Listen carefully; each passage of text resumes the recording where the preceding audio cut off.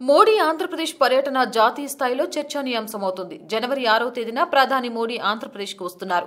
గతంలో అమరావతి శంకుస్థాపన వచ్చి మట్టి నీళ్ళు ఇచ్చి వెళ్ళిన తర్వాత మళ్ళీ ఇప్పుడు రాజకీయాల కోసం ఆంధ్రబాట పట్టారు ప్రధాని. మామూలుగా ప్రధానమంత్రి వస్తున్నారంటే అధికార మర్యాదలు ఓ రేంజ్లో ఉంటాయి. ప్రోటోకాల్ ప్రకారం ఏదైనా రాష్ట్రానికి ప్రధానమంత్రి వెళ్తే ఆయా రాష్ట్రాల ముఖ్యమంత్రులు గౌరవ స్వాగతం పలుకుతారు. కానీ ఏపీకి వచ్చే ప్రధానమంత్రికి చంద్రబాబు నాయుడు స్వాగతం చెప్పడం లేదు. ప్రధాని హోదాలో మోడీ వస్తున్నారు కాబట్టి ప్రోటోకాల్ విషయం గురించి మంత్రులతోనూ సీనియర్ అధికారులతోనూ చంద్రబాబు చర్చలు జరిపారు. ప్రధాని అధికారిక పర్యటన కోసం వచ్చినప్పుడు మాత్రమే ప్రోటోకాల్ ఉంటుందని వ్యక్తిగత రాజకీయ పర్యటనకు వచ్చినప్పుడు ఆయనకు అధికారికంగా స్వాగతం చెప్పాల్సిన పని లేదని అధికారులకు సీఎం క్లారిటీ ఇచ్చారు. మోడీ వస్తుంది బీజేపీ తరపున సభలో ప్రసంగించడానికి తప్ప అధికారిక కార్యక్రమాలు ఏమీ లేవు.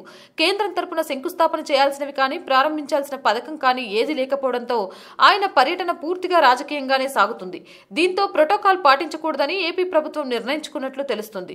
ఇక రెండు రోజుల కిందట మోడీ ఒడిశా వెళ్ళారు. ఆ సమయంలో అక్కడ ఐఐటిని ప్రారంభించారు. దాంతో ఒడిశా సీఎం నవీన్ పట్నాయక్ మోడీతో పాటు వేదిక మీద ఉన్నారు. అలాంటిదేమీ ఏపీలో లేకపోవడం కేవలం రాజకీయం కోసమే మోడీ వస్తుండటంతో ప్రోటోకాల్ పాటించాల్సిన అవసరం లేదని చంద్రబాబు నిర్ణయించుకున్నారు. దీంతో గవర్నర్కి స్వాగతం పలకడానికి సిద్ధమయ్యారు. ప్రస్తుతం బాబు తీసుకున్న నిర్ణయం దేశవ్యాప్తంగా చర్చానీయాంశమవుతుంది. బాబు డేర్కి మమత మాయా నవీన్ పట్నాయక్ వంటి నాయకులు విస్మయం చెందినట్లు తెలుస్తుంది.